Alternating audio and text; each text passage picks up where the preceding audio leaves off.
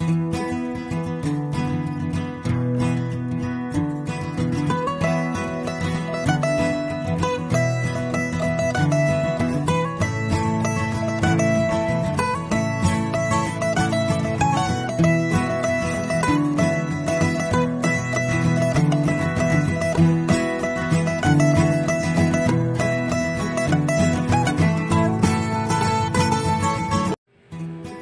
Morning viewers আশা করি সবাই ভালোই আছেন। রান্না রহস্যর পক্ষ থেকে জানাই সকলকে স্বাগত, আর আগের ভিডিওগুলো দেখার জন্য অসংখ্য ধন্যবাদ। আজকে আমি সরস্বতী পুজো স্পেশাল একটা আলুর দম নিয়ে চলে এসেছি। আজকের রেসিপি নিরামিষ শাহী আলুর দম। এই আলুর দমটা সম্পূর্ণ নিরামিষ আলুর দম। তো এই আলুর দম বানাতে আমাদের কি কি লাগছে, সেগুলো এবার দেখে নেওয়া যাক। প্রথমেই লাগছে এখানে ছোট আলু নিয়ে নিয়েছি আমি, সেদ্ধ করে রেখেছি। এখানে আছে টমেটো আর কাঁচা লঙ্কা কুচো করে রাখা, আছে দই, এখানে আছে কিশমিশ, চারমগজ আর বাদাম বেটে রাখা। এখানে আছে সর্ষের তেল, আমি রান্নাটা সর্ষের তেলে করব। আছে কাশ্মীরি লাল, এখানে আছে কিছুটা মটরশুঁটি, মশলার মধ্যে রয়েছে তেজপাতা গোটা গরম মশলা ফোড়ন দেবো আমি, এলাচ, দারচিনি, লবঙ্গ, আদা বাটা, লবণ, জিরে গুঁড়ো, লঙ্কা গুঁড়ো আর হলুদ গুঁড়ো। তো আর দেরি না করে এবার রেসিপিটা শুরু করা যাক। সবার প্রথমে আমি কড়াইতে তেল দিয়ে দেব।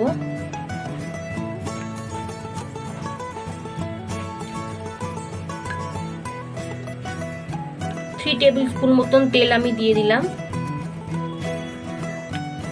সর্ষের তেল নিয়েছি আমি। তেলটা একটু গরম হলে আলুগুলো আমি একটু ভেজে নেব।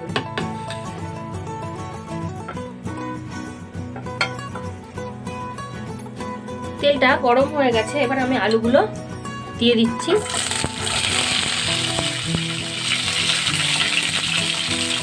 একটু ভেজে নেব আমি। আলুগুলো মোটামুটি আমার ভাজা হয়ে গেছে। আমি আর কড়াই থেকে আলুগুলো তুলবো না, আমি এর মধ্যেই রান্নাটা করব। এবার আমি গোটা গরম মশলা ফোড়ন দিয়ে দিলাম। এলাচ, দারচিনি, লবঙ্গ, একটা তেজপাতা। আমি একটু ভেঙে দিয়েছি তেজপাতাটা। এর মধ্যেই আমি ভালো করে একটু নেড়ে নেব।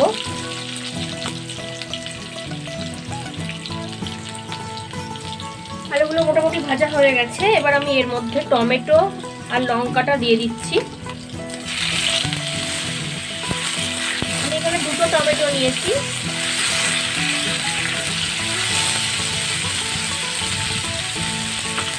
একই সাথে এর মধ্যে আমি মটরশুঁটিগুলো দিয়ে দেবো, যাতে একটু ভাজা ভাজা হয়ে যায়।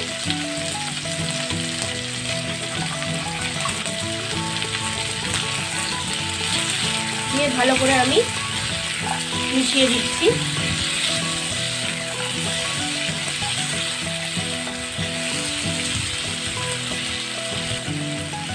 টমেটোগুলো মোটামুটি নরম হয়ে গেছে। এবার আমি এর মধ্যে মশলাগুলো দিয়ে দেবো। প্রথমেই আমি দিয়ে নেব ওয়ান টিস্পুন আদা বাটা ওয়ান টিস্পুন হলুদ গুঁড়ো ওয়ান টিস্পুন লঙ্কা গুঁড়ো ওয়ান টিস্পুন জিরে গুঁড়ো আর স্বাদ অনুসারে লবণ।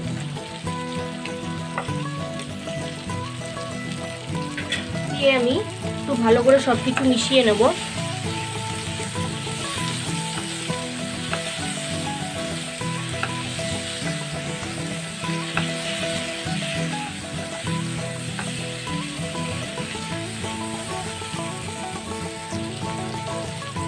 আপনারা দেখুন, খুব সুন্দর করে কিন্তু আমি সব কিছু মিশিয়ে নিয়েছি।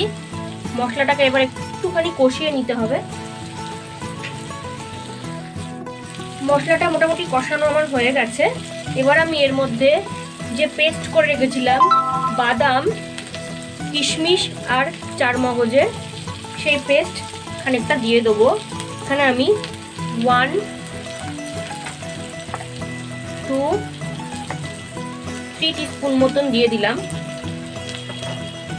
দিয়ে ভালো করে আমি মিশিয়ে নেব।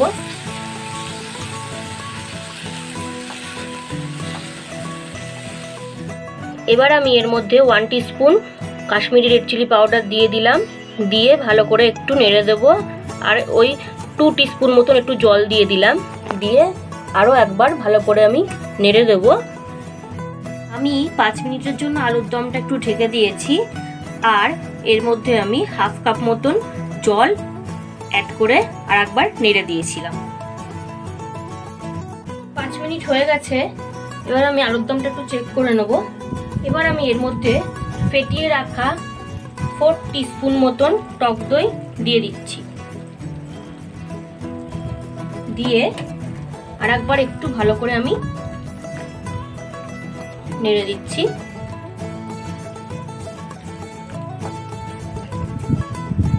এবার আমি পাঁচ মিনিটের জন্য চাপা দিয়ে দেবো। পাঁচ মিনিট হয়ে গেছে, এবার আমি আলুর দমটা একটু চেক করে নেব। আপনারা দেখতেই পাচ্ছেন, সুন্দর করে আলুর দমটা কিন্তু হয়ে গেছে। এবার আমি এর মধ্যে ওয়ান টিস্পুন মতন চিনি অ্যাড করব, কারণ নিরামিষ যেহেতু, নিরামিষ তরকারিতে বা আলুর দমে চিনিটা দিলে একটু মিষ্টি মিষ্টি ভাবে খেতে ভালো লাগবে। আমি এবার একটু জাস্ট নেড়ে দিলাম। গ্রেভিটা আপনারা আপনাদের পছন্দ অনুযায়ী রাখতে পারেন। আপনারা আরেকটুখানি কম গ্রেভিও রাখতে পারেন বা একটু বেশিও রাখতে পারেন, সেটা আপনাদের উপর নির্ভর করছে। আলুর দমটা আমার প্রায় হয়েই গেছে। এবার আমি নামানোর আগে ওপরে ওয়ান স্পুন মতন একটু শাহি গরম মশলার গুঁড়ো দিয়ে দিলাম সানরাইজের দিয়ে একবার জাস্ট একটু নেড়ে দেবো।